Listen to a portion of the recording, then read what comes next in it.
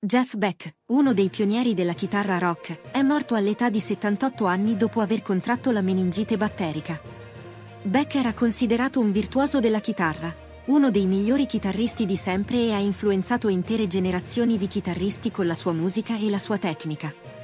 Ha vinto 8 Grammy Awards e due volte è stato inserito nella Rock and Roll Hall of Fame, una volta con gli Yardbirds e una volta come artista solista. Ha suonato la chitarra con molti cantanti famosi come Luciano Pavarotti, Maci Gray, Chrissy Hinde e Joss Stone. Ha inciso anche dischi con Rod Stewart e un'orchestra di 64 elementi.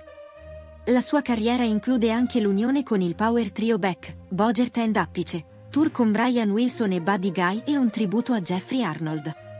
Beck è stato un membro degli Yardbirds prima di intraprendere una carriera solista che ha incorporato hard rock, jazz, funky blues e persino l'opera. Era noto per la sua improvvisazione, l'amore per gli armonici e per la battuta d'arresto della sua chitarra preferita.